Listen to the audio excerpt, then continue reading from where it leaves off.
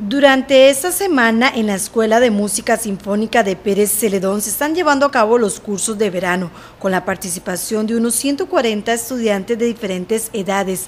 Ellos están recibiendo clases de manera intensa, ya que están desde las 8 de la mañana y hasta prácticamente las 8 de la noche. Básicamente los cursos de verano son este, talleres intensivos. Eh, que han ido modificándose cada vez más a llevar los estudiantes a una parte más integral en donde ellos tengan este desarrollo de diferentes materias, por ejemplo, están recibiendo ensayos con los conjuntos musicales para montar conciertos, también están recibiendo clases con maestros invitados que tenemos el placer de tener en esta ocasión, también, este, bueno, por ejemplo, ahorita se está dando un taller sobre cómo preparar audiciones para nivel internacional, digamos, cuáles son los puntos que tienen que hacer. Bueno, esto es muy importante, primero que todo para los jóvenes, ¿verdad? que siempre que están metidos en música eh, y tienen vacaciones, ¿verdad? Para ellos es importante seguir en ese, en ese ritmo ¿verdad? para el crecimiento ¿verdad?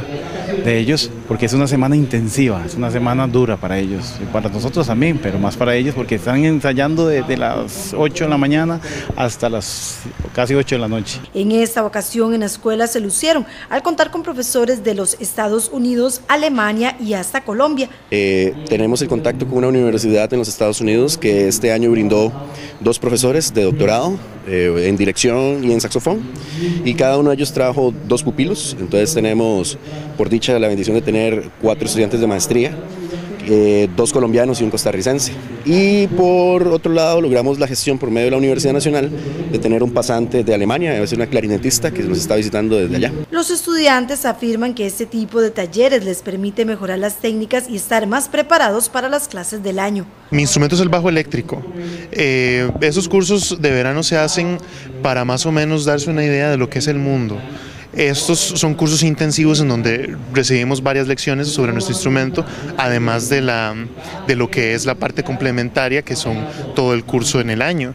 Entonces, esta semana se usa como algo extra para básicamente que uno se vaya metiendo en el asunto de lo que va a ser el siguiente año. Bueno, me imagino que en su caso ya ha participado en varios talleres de verano. Sí, este es mi tercero o cuarto, si no me equivoco, eh, pero esta, esta modalidad de que es tan intensivo sí es bastante nueva.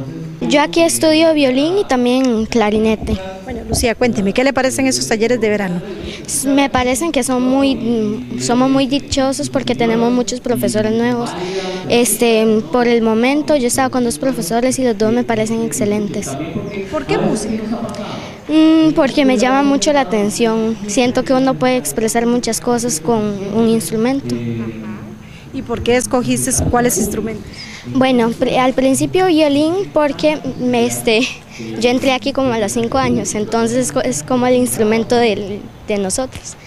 Y después hace como unos tres años en una gira yo probé un clarinete y me encantó. Y hasta el año pasado me dejaron tocar los dos instrumentos juntos, entonces estaba muy feliz. Durante toda esta semana se están brindando conciertos en la noche y como cierre de todo lo aprendido se ofrecerá uno el próximo viernes.